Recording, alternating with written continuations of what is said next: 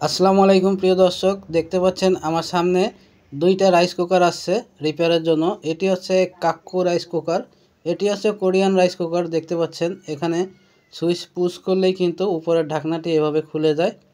তো একই দেশের একই কোম্পানির রাইস কুকার এটা কিন্তু উপর থেকে খুলতে হয় এভাবে।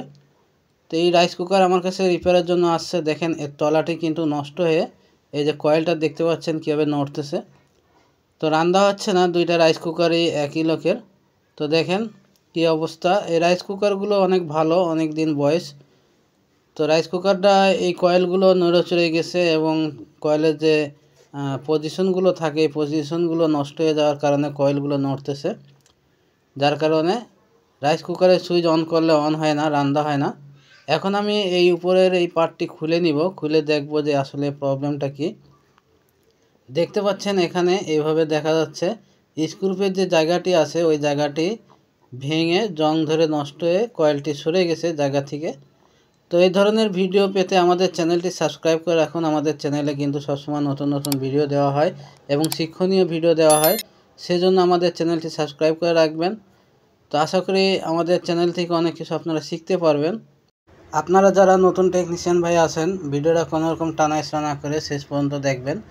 দেখেন, এখন এই অবস্থায় যা করণীয়, প্রথমে এই কয়েলের কানেকশানগুলো খুলে এই কয়েলটাকে বের করে নিতে হবে।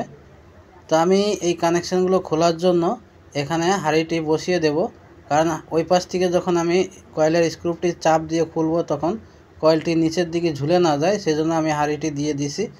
তো দেখতে পাচ্ছেন, এখানে যে নাটগুলো আছে, স্ক্রুপগুলো আছে লাগানো, এগুলো অবশ্যই খুলে নিতে হবে। তো সব কানেকশান আমি ছাড়িয়ে তারপরে কয়েলটাকে বের করে নেব।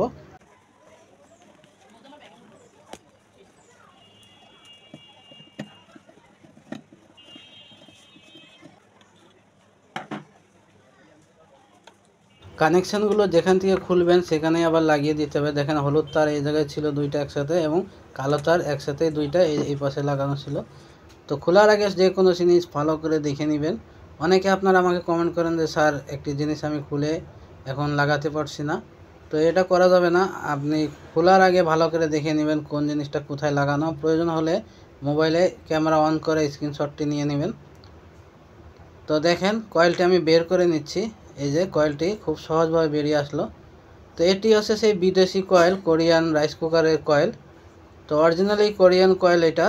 এখানে দেখেন স্ক্রু একটি আছে এবং এখানে একটি আছে। আমি একটু তেল দিয়ে ভিজিয়ে নিচ্ছি। যেহেতু জং ধরে নষ্ট হয়ে গেছে পেজগুলো তো মাত্র দুইটা স্ক্রুপ এই কয়েলে লাগানো। তো দুইটা কয়েলের স্ক্রুপই কিন্তু নষ্ট হয়ে যাওয়ার কারণে কয়েলটি কিন্তু বের হয়ে গেছিল। দেখতে পাচ্ছেন এখানে একটি স্ক্রুপ কিন্তু ভেঙে গেছে খুলতে যেয়ে। যদি আপনাদের কাছে এরকম প্রবলেম হয়, যে স্ক্রু ভেঙে গেছে, খোলা যাচ্ছে না, তাহলে কিন্তু ড্রিল দিয়ে ফুটো করে নেবেন, তাহলে পরবর্তীতে যে কোনো স্ক্রু আবার লাগিয়ে নিতে পারবেন। আমি এখন ড্রিল দিয়ে ফুটো করে নিচ্ছি। এখন আমি কয়েলটি বসিয়ে এখানে স্ক্রুপ লাগাবো। দেখতে পাচ্ছেন যে স্ক্রুপটি লাগানোর যে জায়গাটা দরকার, সেই জায়গাটা তো নষ্ট হয়ে গেছে। তো এরকম টিনের টুকরা কেটে নেবেন।